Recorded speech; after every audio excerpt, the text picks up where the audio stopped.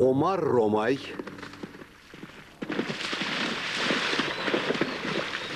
И компания Сильвио Берлускони представляют. Гресию Кольменарес, Освальдо Лапорта. И Херардо Романо. В телесериале «Девушка по имени Судьба», а также Луису Кульок. Авторы сценария Гильермо Глаук, Хуан Марин и Мария Виктория Менис.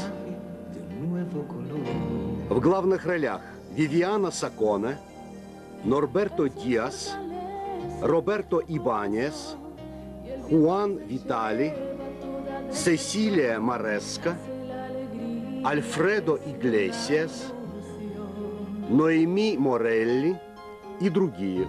Cuando tengo ganas de pensar en Dios, mis labios pronuncian la palabra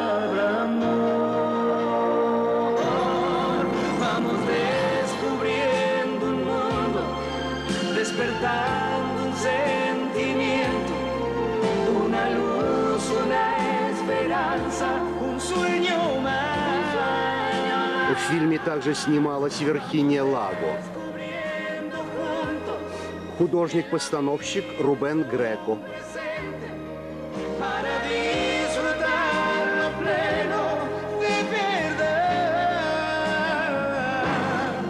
музыка Серхио Вильяра и Марсела Альвареса. Una luz, una esperanza, tiempo de amar. Cuando tengo ganas de pensar en Dios, miro el universo que hay en mi interior.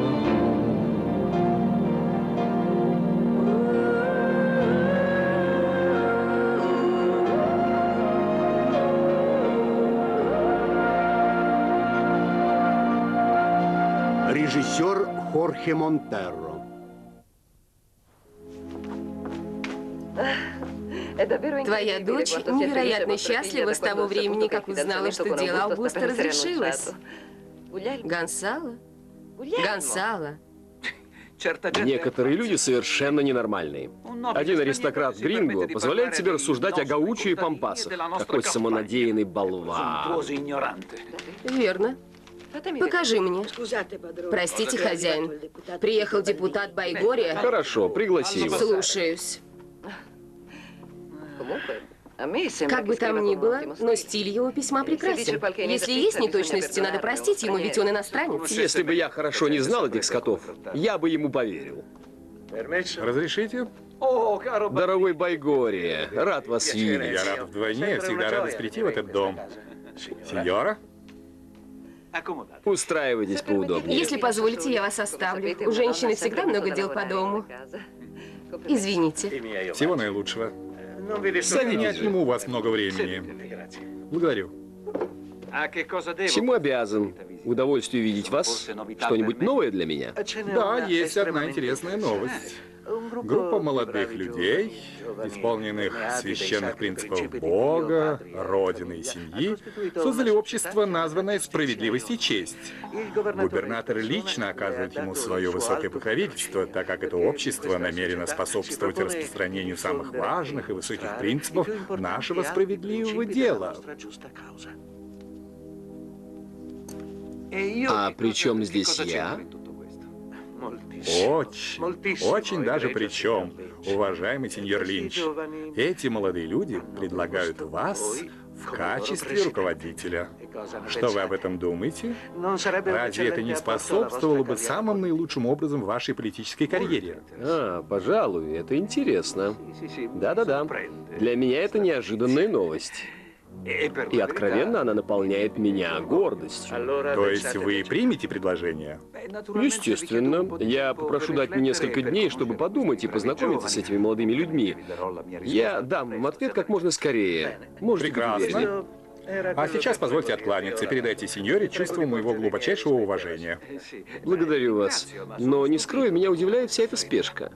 Я с удовольствием бы остался, но должен навестить мою племянницу. Ее отец уехал в Европу и просил меня помочь ей, а также газете. Ну что ж, поскольку вы там будете, передайте, пожалуйста, одно мое замечание по поводу статьи о сельской жизни. По-моему, они не дают представления о наших пампасах.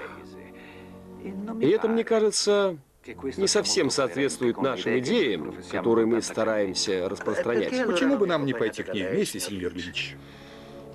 Так значит, вы и есть тот знаменитый князь Арчибальд де ла Круз? Собственной персоной.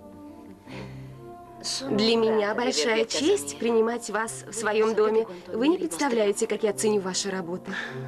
Польщен и надеюсь, что не разочаровал вас.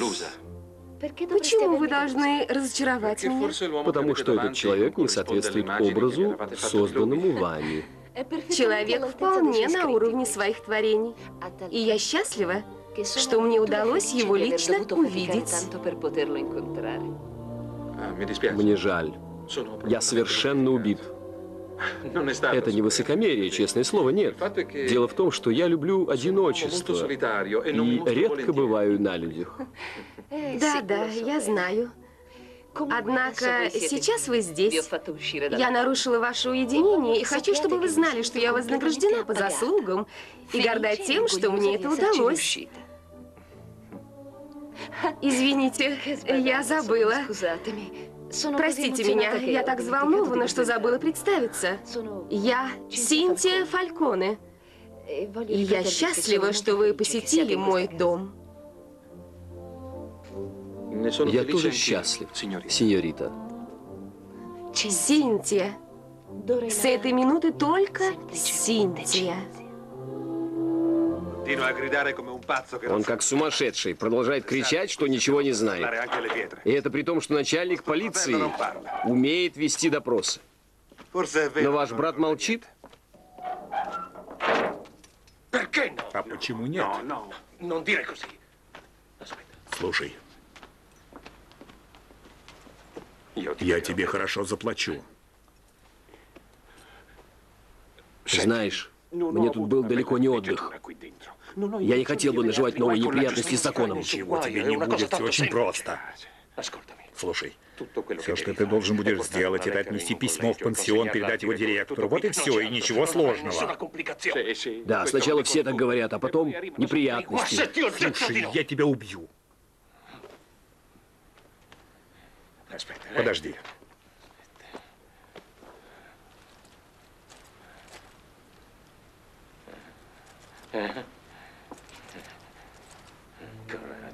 Ну, пожалуйста, помоги мне. Ты должен мне помочь.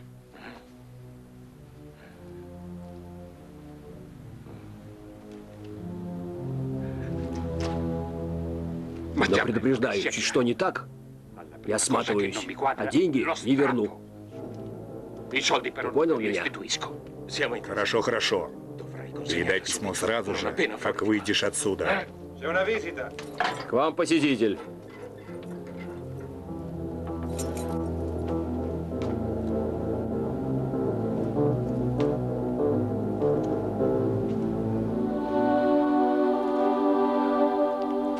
Милагрос.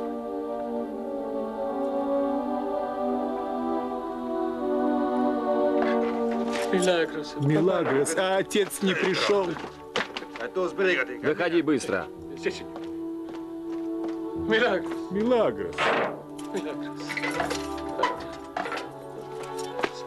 Давай, давай, поосторожней с ним.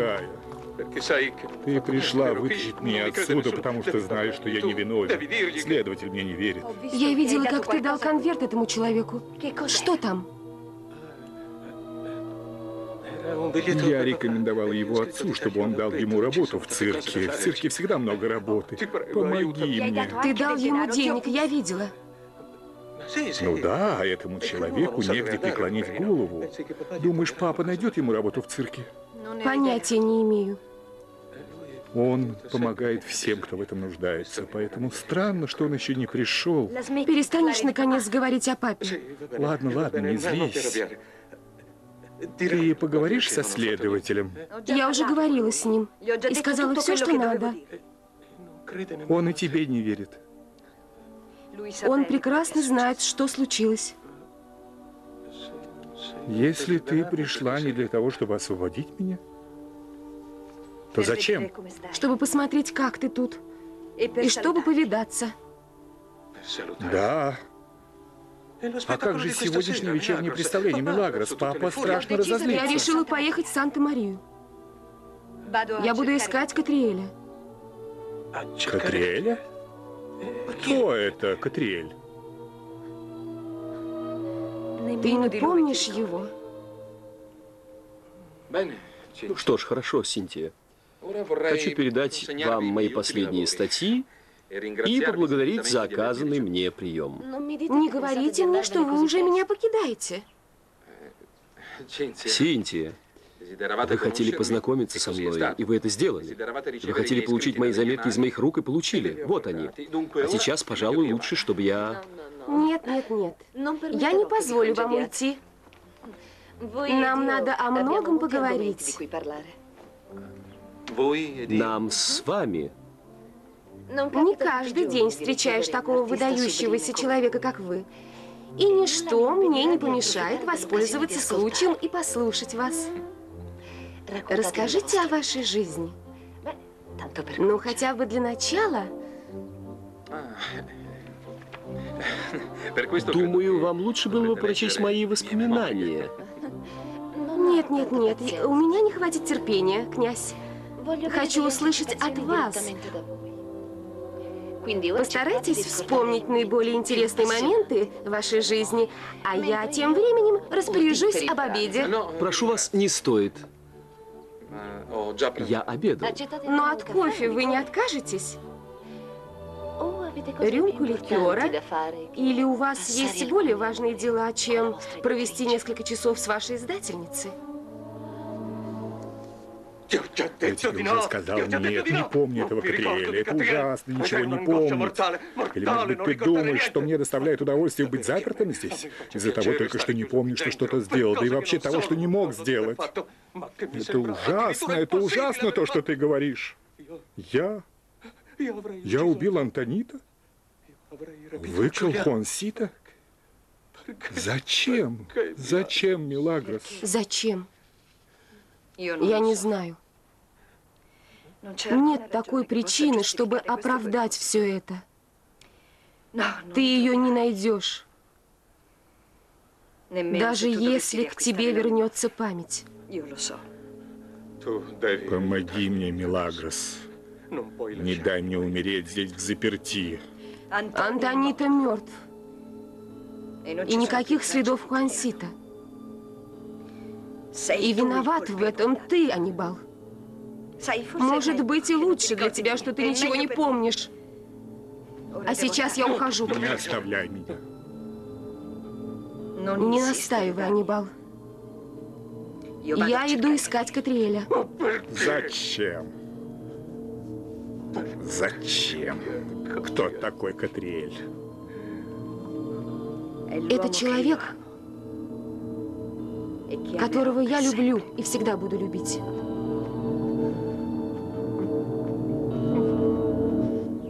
И я это уже поняла из ваших работ, а сейчас получила подтверждение. Вы прекрасно понимаете человеческие чувства и глубокую природу. Вы говорите о людях и земле, говорите об их страданиях, как будто вы их испытали сами. Так я чувствую. Вижу, вы не только очень знающий, но и тонкий литературный критик. Я стараюсь быть такой для вас. Стараюсь не выглядеть слишком наивно на вашем высоком уровне.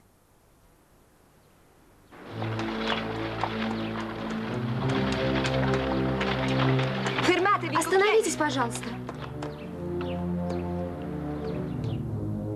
Спасибо, Доминго. Не за что, сеньор. Добрый день, Эрнесто. Я с нетерпением ждала вас. Это делает меня счастливым. Сначала узнайте причину, а уж потом... Я открою вам один секрет. Это я сказала себе, когда только впервые прочла ваши работы. Вы все больше заинтриговываете меня. Надеюсь. Так, позвольте открыть вам мой секрет.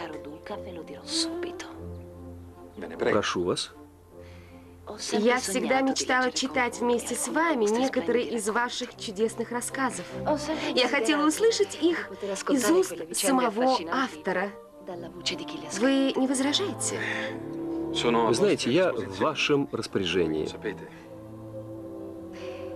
Я буду наслаждаться этим рядом с вами так же, как наслаждаюсь сейчас. Вы заставите меня краснеть, если не перестанете льстить мне. Я не перестану, пока вы не обратите на меня ваше внимание. Неужели во мне нет ничего, чтобы вызывало... Нет, нет, конечно, есть. И до такой степени, что даже писатель не может найти слов при виде вас. Вы поняли? Они старались оправдаться, но соблазнить девушку, воспользовавшись доверием ее семьи, это совершенно непростительно. Совершенно непростительно. Я с вами согласен. Он совершил нечто достойное морального человека и сделал невыносимым отношения между мной и дочерью. Уверяю вас. У меня нет иных причин упрекать вашего сына, но то, что он сделал, не может найти никакого оправдания. Сеньора Виктория, вы позволите мне хоть как-то попытаться защитить его? Или этот юноша уже окончательно осужден вами? Говорите, что хотите. Вы все равно не сможете оправдать его поведение. Имейте в виду, что то, что случилось в имении, могло ослабить узы, которые... Ну уж нет, пожалуйста, это не может иметь никакого отношения. Я думаю иначе. Они уже давно тянутся друг к другу, и исключительные обстоятельства, в которых они оказались. Они молоды, а опасность возбуждает. Так что молодые люди в их положении, конечно, тянутся друг к другу. Прошу вас. Вы способны придумать все, что угодно, лишь бы оправдать этих легкомысленных молодых Но людей. поймите, это мой долг. Марьяна мой сын. А Камила моя дочь.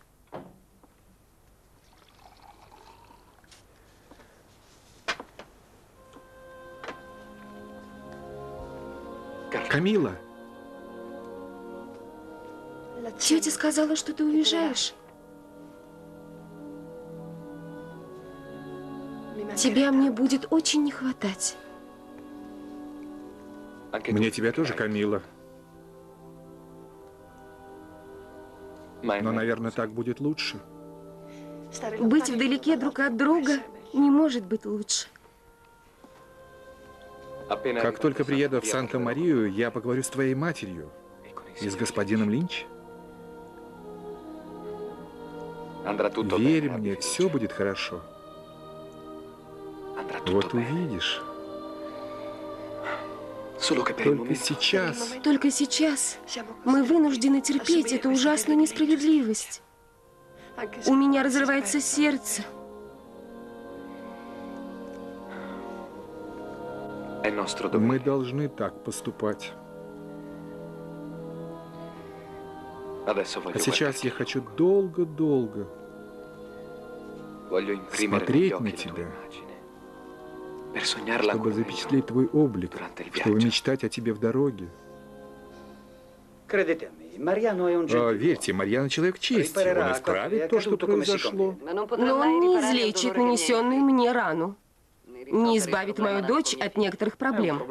А Проблемы, конечно, будут забыты в течение нескольких дней. Я в этом не уверена. Во всяком случае, я поговорю с ним, как только он вернется. Я не сомневаюсь, что у него были честные намерения. Дай ты Бог. Я желаю вам, Эрнесто. Достойный человек доказывает это своим поведением. Вам не в чем будет упрекнуть ни меня, ни моего сына. Уверяю вас. Хорошо. Поверю вам. Не будем больше об этом. Ну, разве в крайнем случае? Как прикажете. Закончим разговор улыбкой? Бывают обстоятельства, когда трудно. Может быть, вы сердитесь Нет, почему я должна на вас сердиться? за всей этой историей? Нет. Вы обещали поговорить с ним? От вас я не могу ожидать большего. Почему же вы не улыбнетесь в подтверждении ваших слов? Сейчас у меня не то настроение. Хорошо. Раз уж вы не можете улыбнуться, почему бы вам не предложить мне бокал вина? Потому что все, что надо было мне вам сказать, уже сказано. И в отсутствие Гонсала Гонсало нет дома? нет. Он ушел э, с депутатом Байгория. И если вы хотите увидеть его, то должны будете вернуться попозже. Я не хочу возвращаться. Что вы имеете в виду? Я подожду его здесь. Очень хорошо. Как хотите, Эрнесто. Но вам придется поскучать. Уверяю, это абсолютно исключено. Кто может скучать, оставаясь рядом со столь обворожительной дамой? Никто? Эрнесто, я думаю, вы путаете меня с кем-то другим. Уверяю вас, что нет. Я прекрасно знаю, что вы, Виктория, подлинная жемчужина семьи Аласабль.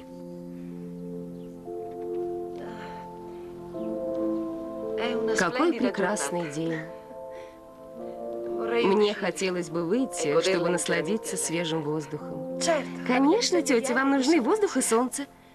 Почему бы не провести день в саду? Нельзя, девочка. Мы должны ехать. Я уже сказала, чтобы собирали вещи, готовили экипаж. Как только все будет готово, мы должны уезжать. Но почему такая спешка? Надо спешить. Предстоит еще много чего сделать. И в первую очередь рассчитаться с прошлым твоей матери. Мои девочки очень красивые и крепкие. И стоят того, что я за них прошу. Твои претензии просто-напросто невероятны. Как всегда, впрочем. Эти девочки даже не умеют готовить. Но я бы дал тебе, сколько ты просишь. Если ты пришлешь хотя бы одну...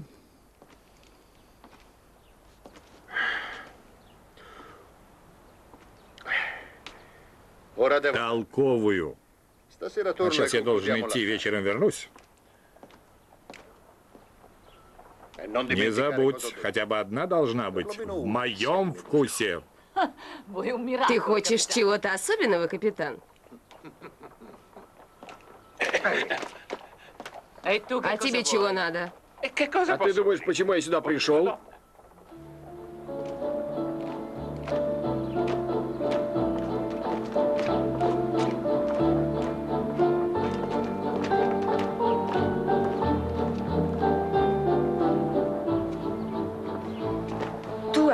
Местный? Да. Ты живешь здесь? Здесь, поблизости. Можно тебя попросить? Конечно.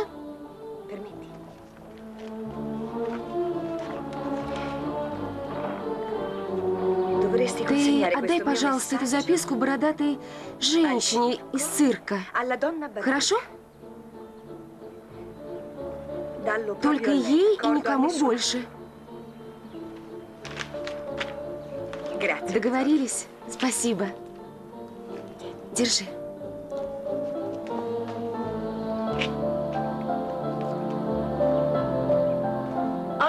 Тебе сегодня не повезло. У меня важные дела. Наше заведение закрыто, дорогуша. Поставь свой шарабан перед таверной Гринго. Увидишь, какие там конфетки. Эту чепуху рассказывай другому. В этой грязной канаве у самой молодой, которую мне предложат, уже давно выпали зубы. Для тебя же лучше. Не укусит, по крайней мере. Ну так давай же сюда быстро, женщина. Я же сказала тебе убирайся. Оглох, что ли? Все девочки заняты, ясно? У меня важные дела, и мне некогда тут с тобой трепаться.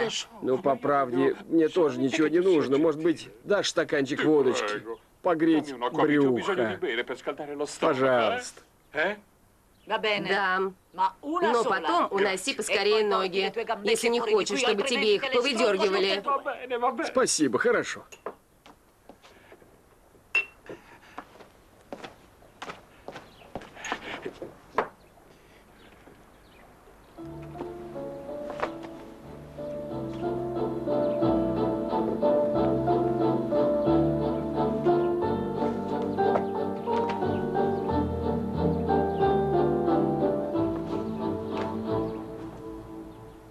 Вы говорили, что ваша мать неаполитанка. А мой отец испанец. Это чувствуется по стилю вашего письма. Чувствуется латинская кровь. Да, она очень отличается от вашей. Поэтому и притягивает. Простите, сеньорита, да. Приехал ваш дядя, и с ним сеньор Гонсало.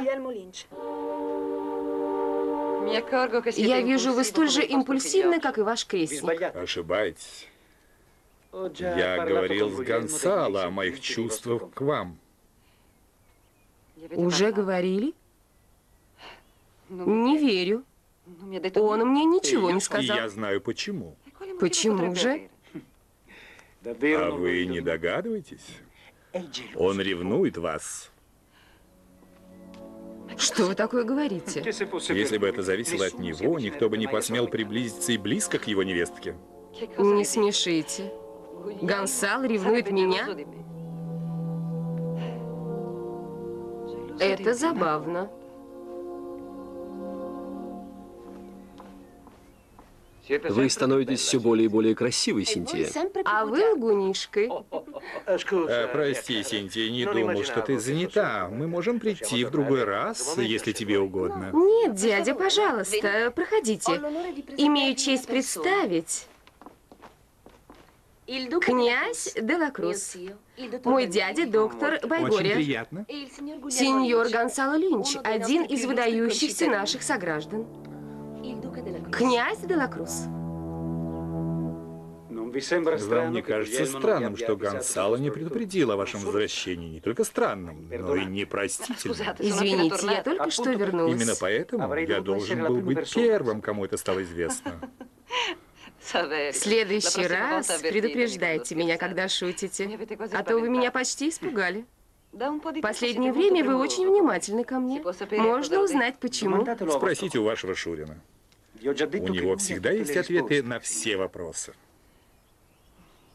Венеция поразила его с первой минуты. Папа говорит, что сеньор Линч. Сеньор Линч. Вам действительно уже надоели мои семейные рассказы? Нет, нет, совершенно нет. Только я думал, что знаю, кто вы.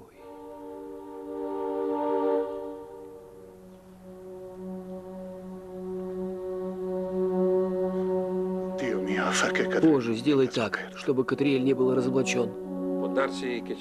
Может быть, мы где-нибудь и встречались с вами во время какой-нибудь поездки, но должен признать, что не помню.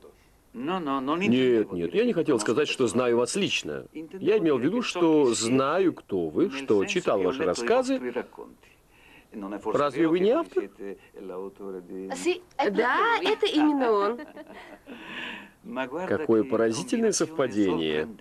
Представьте себе, буквально несколько минут назад я говорил одному моему другу, что хотел бы побеседовать именно с вами.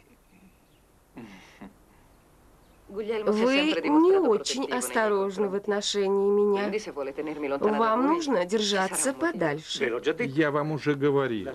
В нем играет простая ревность. Я склонна думать, что истинная причина заключается в том, что он вас знает слишком хорошо. Не очень ли вы жестоки со мной? Почему вы это говорите? Потому что вы превозносите Гонсала как какого-нибудь святого. И теперь уже я начинаю ревновать. Эрнесто, сегодня вы как никогда остроумны. Мне доставляет это удовольствие. Уже давно на вашем прекрасном лице должна была бы появиться улыбка. Если хотите заставить меня улыбнуться, это одно. Но вы, по-моему, просто хотите заставить меня покраснеть. Я многого хочу, Виктория. Но, боюсь, не все вам понравится. Ну, хотя бы.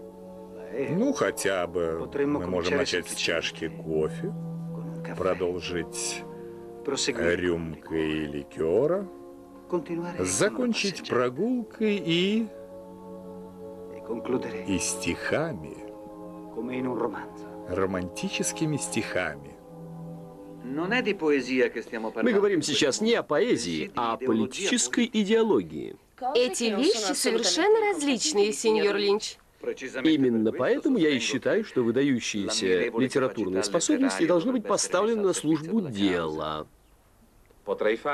Я мог бы согласиться с вами, если вы докажете, что дело, о котором вы говорите, действительно наше общее дело. Это дело лучших из нас, и это делает его справедливым. Все зависит от того, кто эти лучшие. Давайте не превращать эту беседу на литературные темы в политическую дискуссию. Сеньор Линч, вы пугаете князя. Если бы вы знали, как было трудно вытянуть его из замка уединения. Сеньор Линч вовсе не пугает меня. Мне нравится его диалектический подход. Дорогой князь, хотя я и вижу, что совершенно невозможно убедить вас, должен признаться, что для меня большая честь познакомиться с человеком, который с такой твердостью отстаивает свои убеждения. А вы человек, который умеет выслушать мнение, отличающееся от его собственного, что бывает редко. Между такими людьми, как мы с вами, не может быть иначе. Я буду вашим вечным должником, поскольку вы познакомили меня с таким человеком. Я давно не испытывал такого удовольствия от беседы, подобной этой. В таком случае я пришлю вам счет.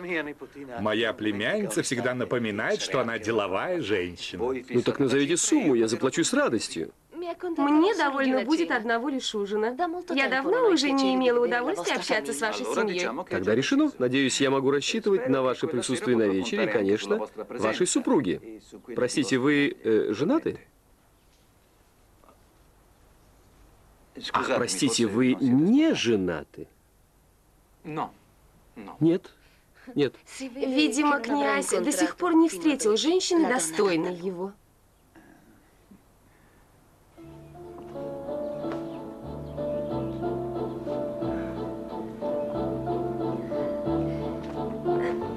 Сеньор, простите меня, я хотела бы... А, вот и белокурый ангел, который прилетел утешить несчастного. Но мне кажется, я видел вас в тюрьме только что. Да. Я не знал, что вы там работаете. Нет, нет, вы не должны смущаться этим. Я вовсе не смущаюсь, милая блондиночка. Кто бы смутился, увидев такой лакомый кусочек, как ты. Сеньор, я хотела бы только попросить... Замолчи, милашка. Отпустите меня. Не ори, лучше поцелуй меня. Пожалуйста, я хочу с вами поговорить. Да не о чем Я нам говорить.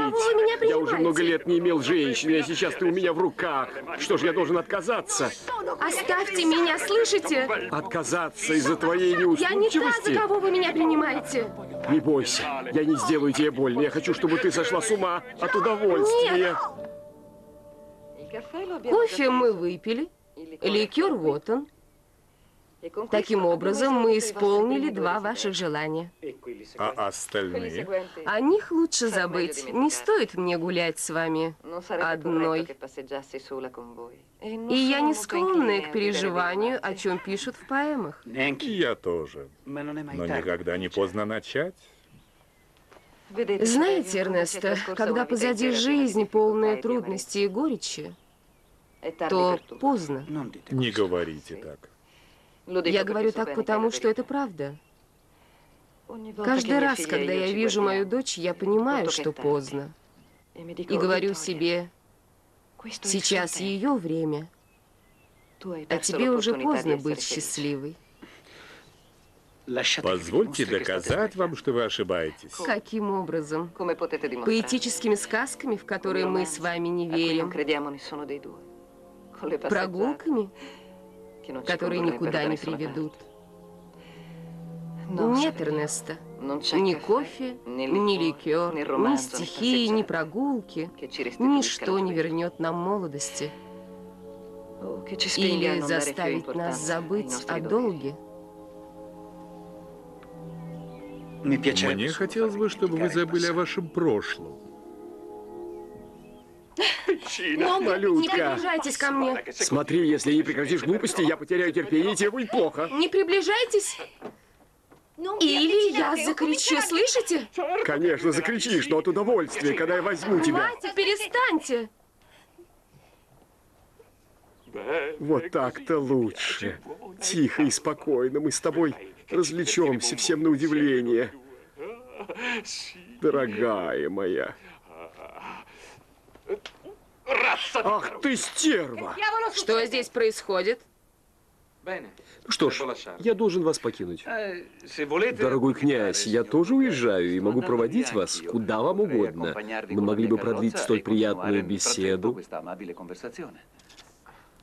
Благодарю вас, сеньор Линч, но я придерживаюсь старинной сельской привычки. Я люблю ходить пешком. С вашего разрешения. Я провожу вас. Простите.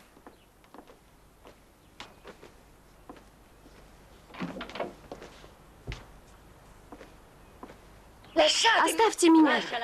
Оставь ее, скотина. Так-то ты благодаришь меня за стаканчик водки, что я дала тебе из жалости. Обижать девушку в моем доме. Убирайся, сматывайся, пока я не позвала полицию. Грязный пьяница. Сказала тебе, убирайся.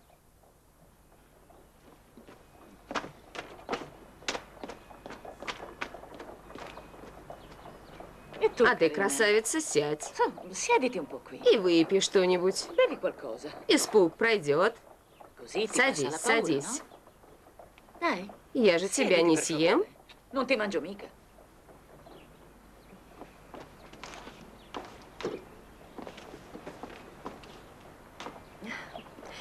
Спасибо, сеньор. ringraziarmi. Не за что благодарить меня. Женщины должны помогать друг другу. Росаура, Да. Что такое? Милагрос, она исчезла.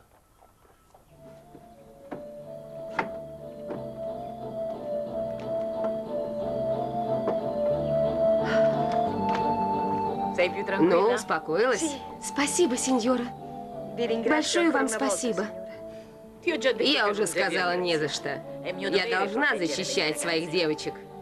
А сейчас, почему бы тебе не пойти туда и не принять ванну? А я подыщу одежду, чтобы тебе переодеться. Нет, нет, благодарю вас не нужно. Я должна идти. Идти? Ho Куда идти? Мне кажется, ты ничего не поняла, куколка. Отсюда ты никуда не уйдешь. У e меня кое-что есть для такой девочки.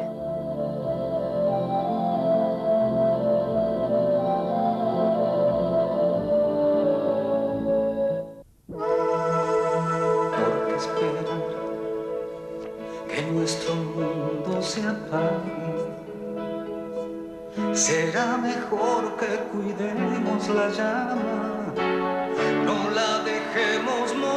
русский язык фильм озвучивали актеры Людмила Иванова, Ирина Маликова, Александр Лущик, Борис Клюев, режиссер Надежда Еремина, звукорежиссер Владимир Захаров, инженер звукозаписи Дмитрий Солодкий, перевод Валерия Нижника, директор Лариса Элкснис. Сериал озвучен студией «Наследие» по заказу общественного российского телевидения.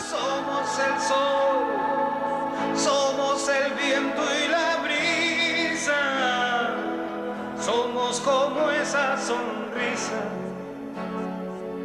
que sale